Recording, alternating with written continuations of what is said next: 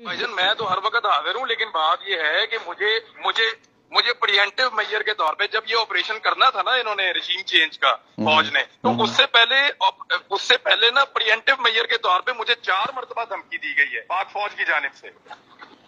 मैं इसको देखता हूँ लेकिन अब मुझे ये वाली बात अब नहीं बता रहे मैं मैंने लिखवाई हुई है आई को भी लिखवाई हुई है और सेक्टर सेक्टर कमांडर के पास भी है और इसके अलावा ये इन्फॉर्मेशन डीजीआईएसपीआर के पास भी है। और डीजीएम के पास भी है इन सबको दी हुई है।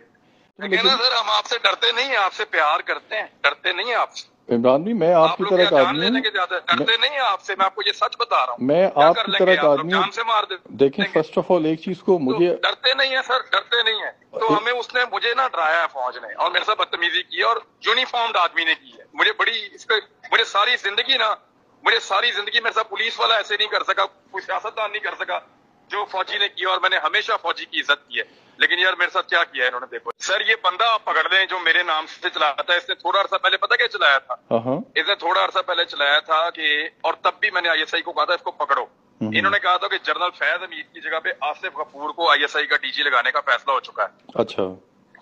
तो अच्छा मैंने उस पर डिनाई दे दिया था आईएसआई के कहने के ऊपर। हम्म, लेकिन मैंने इनको उस वक्त भी कहा था ये तकरीबन सवा साल पुरानी बात है। मैंने उस वक्त भी इनको कहा था कि यार फॉर गॉड सेक और ये बंदे पकड़ो अल्लाह का वास्ता मेरी जान छुड़ाओ। मैं कब तक तुम लोगों की ये वो देता रहूँगा तरदीदें? और कई दफ़ा दी हैं। हम्म। उस दिन अलीम खान मेरे पीछे पड़ गया आप मेरी भी तरदीद दें। ये आपके एक अकाउंट से मैं यार फेक अकाउंट है मेरा है ही नहीं भाई। हम्म। एंटी स्टेट फौज बनाती है फौज एंटी स्टेट बनाती है बंदे को।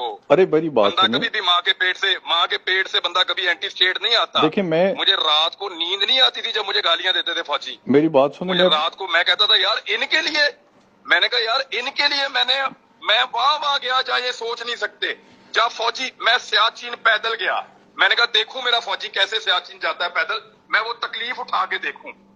मैंने उस ल- मुझे क्या ज़रूरत पड़ी थी? मैं ना भी करता उससे क्या फ़र्क पड़ता? स्टूडियो में बैठ के प्रोग्राम करता। हम्म। मैंने हर हर वो चीज़ की जिससे मेरी फौज को फ़ायदा पहुँचे। और उन्होंने मुझे यार गालियाँ दी यार मेरे साथ बदतमीजी की यार उठा के ले जाएँगे। तेरी एफ़ आई आर दे देंगे।